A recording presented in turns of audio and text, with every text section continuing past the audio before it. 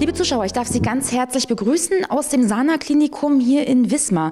Ich habe heute einen Gast im Interview der Woche, über den ich mich sehr freue, denn es ist die Pflegedirektorin Nadine Pahrmann heute hier. Die wird mir ein paar Fragen beantworten, beziehungsweise wir wollen uns mal darüber unterhalten, wie aktuell der, ja, man könnte sagen, der Alltag hier aussieht im Klinikum. Zuallererst möchte ich jedoch mal ähm, damit anfangen. Ich habe gelesen, dass Sie das ja schon eine ganze Weile machen. Sie haben ja hier auch angefangen im Klinikum, oder? Damals? Vielen Dank. Ja, ich habe hier angefangen. Ähm, nach meinem Abitur 1998 habe ich gleich mit einer Ausbildung hier als Krankenschwester noch am städtischen Krankenhaus begonnen und ähm, wurde danach ja, übernommen und konnte alle Aufstiegsmöglichkeiten so in Erwägung mitnehmen, ziehen, sozusagen. mitnehmen, genau, ja. mitnehmen und äh, alle Stationen, viele Bereiche durchlaufen, damit kennenlernen. Ja. Genau. Wie kann ich mir das so vorstellen? Also wenn man hier eine Ausbildung macht ähm, oder sozusagen hier schon so lange im Haus ist, kennt man doch bestimmt auch jede Ecke, oder? Und jeden, der hier arbeitet. Natürlich kennt man hier jede Ecke, aber sowas kann ja auch äh, sehr positiv sein, indem man sich in ähm, Strukturen, gerade wenn man die Aufstiegsmöglichkeiten nutzt, so wie ich es getan habe, ähm, alle Ebenen durchlaufen, stellvertretende Stationsleitung, Stationsleitung, stellvertretende Pflegedienstleitung Jetzt Pflegedienstleitung ähm, kann man sich einfacher in die Strukturen und damit in die neuen Aufgaben der Pflegedirektion einarbeiten. einarbeiten. Und was ist das, was Sie reizt? Weil ich finde es ja immer zauberhaft, wenn Leute schon so lange in einem Unternehmen sind. Also wahrscheinlich die Aufstiegsmöglichkeiten, was denn noch?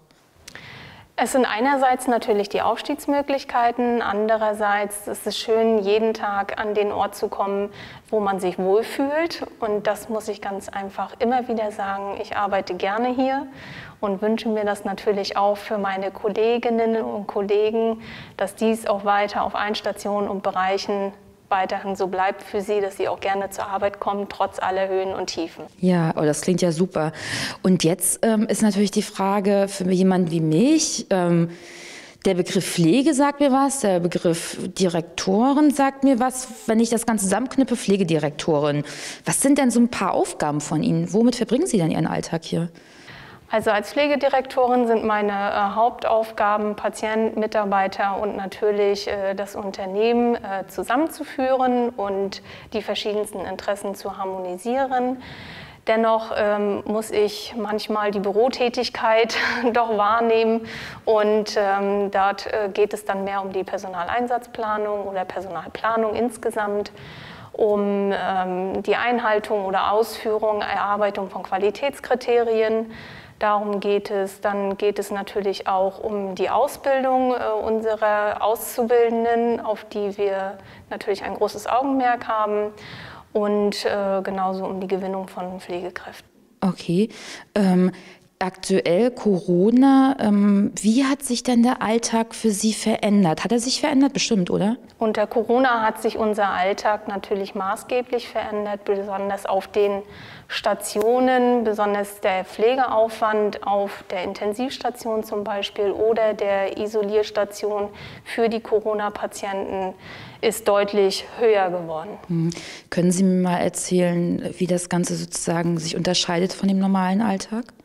Also Sie haben gesagt, es ist ein höherer Aufwand. Ähm, mhm. Man hört ja auch immer ganz viel, aber ich würde das gerne einfach mal wissen wollen. Also der Aufwand, der ist in dem Sinne höher, da man ja Isoliervorgaben hat, ähm, indem man natürlich auch das Personal so einsetzen muss, wie der Aufwand ist. Das heißt, das Personal muss deutlich flexibler noch im Einsatz sein ähm, als zuvor was natürlich alles eine ganz große Herausforderung ist, aber natürlich eben auch als Chance gesehen werden kann. Hm. Flexibel fand ich jetzt gerade ein schönes Stichwort, weil ich hatte gestern kurz gelesen, dass es eine wunderschöne Aktion hier vom Team gab in der Pflege. Und zwar, wenn ich es richtig verstanden habe, wurden doch für eine Kollegin vielleicht sage ich das jetzt falsch, Überstunden gesammelt und sozusagen auf ihr Konto gut geschrieben genau. für den Sohn, oder? Mhm. Wir haben Was eine Sammelaktion gestartet äh, hier im Klinikum. Ein Aufruf ähm, wurde gestartet durch unsere Marketingabteilung und ähm, es wurden Überstunden, Mehrstunden angesammelt, äh, um diese dann zugunsten unserer Kollegin auszuzahlen.